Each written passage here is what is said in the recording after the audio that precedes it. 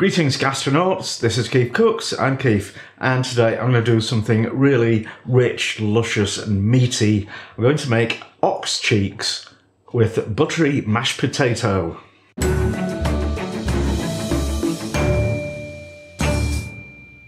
So this was requested back in November 2021. So it only took me a bit over a year to get to it by Billy B. Yeah, he asked for beef cheeks, but basically the same thing. And if you don't know, an ox is a bullock. It's a castrated bull uh, to make it less aggressive. And beef cheeks or ox cheeks were, were always considered to be a cheap cut. They're not really now, since a lot of restaurants started doing them and foodies latched on to the trend but they can actually be a bit hard to find. Um, so that's my excuse for not doing it sooner, Billy. Uh, but I did manage to find some just before Christmas. Um, so they've been in the freezer waiting for the Christmas period to elapse before I could do them. If you enjoy this video, give it a like, share, subscribe, etc. And let's get on with it. Ox cheeks and super buttery mashed tatties. Right, ingredients really quite simple. I need half a litre of beef stock made up from a cube or the real thing if you've got any, and a carrot, a stick of celery, and a bit, and a medium onion, and two ox cheeks. So these are both about 200 grams. And you can see there's tons of connective tissue, which is going to take a long, slow cook to break down. So if you heard me say slow cooker and you haven't got one, you wanted to run away, you can do it in a, a regular saucepan or Dutch oven on, on the stove top, and that'll take about three hours to get the beef really tender. Or you could do it in a pressure cooker in about 30 or 40 minutes. Depends on what gear you've got and how much time you've got. So slow cooker will work brilliantly for this for me. So what I need to do first is get this beef good and brown.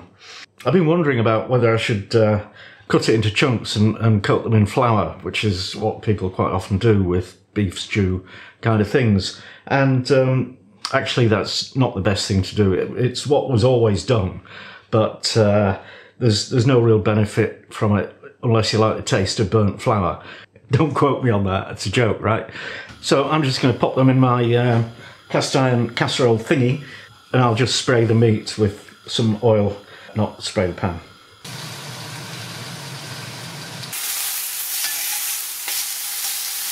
While the meat is cooking, we just want to cut our vegetables into dice, cubes, slices. We will end up mashing these into the cooking liquids.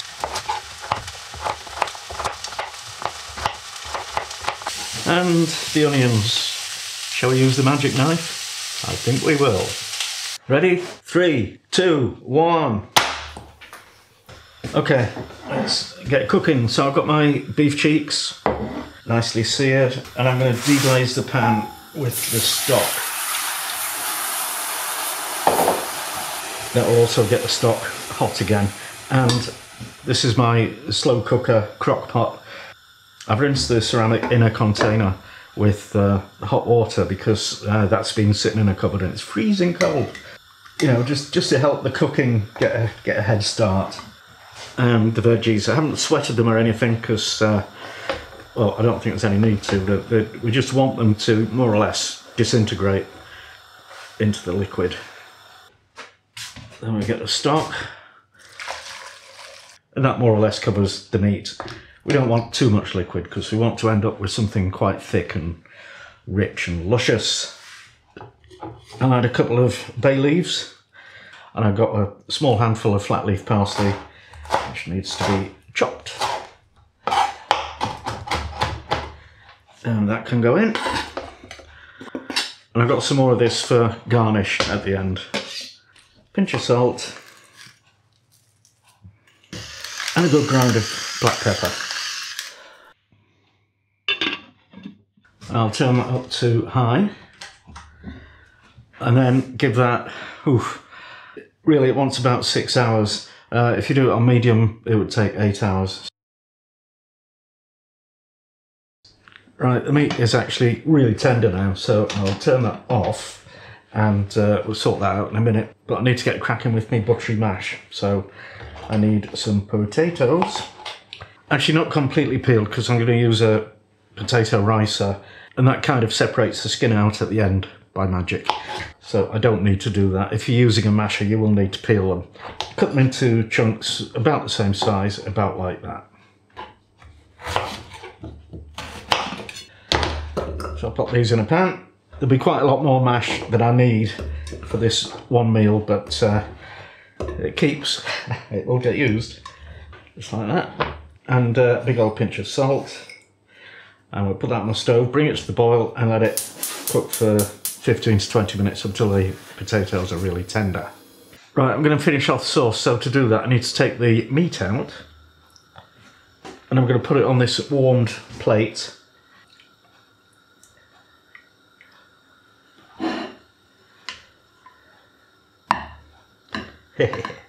that is definitely cooked.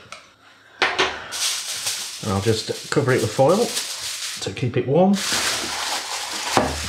Now I'm going to whiz this with uh, immersion blender to squish all the vegetables and, and thicken up the sauce. Now I'm going to pass this through a sieve just to get rid of any surviving lumps and, and you know make the sauce really nice and thick. This could take some time.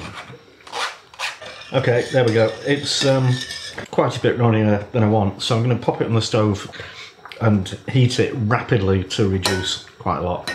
I meant to mention this earlier. A lot of recipes would use um, a cup of red wine in that sauce, and so would I normally.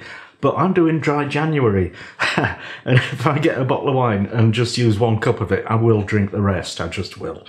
So I'm uh, I'm skipping that part. It still tastes magnificent. So the spuds, right? I've drained them. They're just kind of steam drying. and then pop them in your wonderful potato ricer and give them a squeeze. And I told you it magically separates out the potato skin. It's a bit messy, but it does work. I was calling it buttery mash, so I better put some in. I've got 100 grams of butter here. You might think it's excessive, and I agree.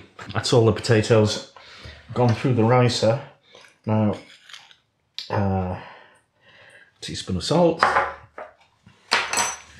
some white pepper,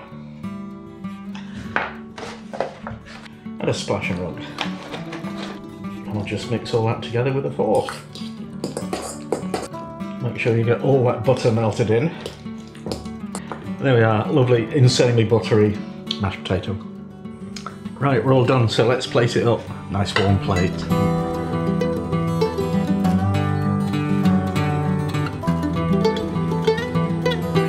Little lake of gravy sauce and some veggie bubbles.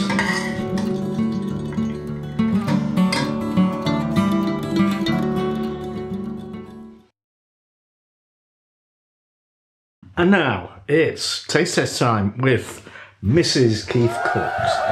Hello, Hello, darling. You alright? Yeah, yeah. What have we got here?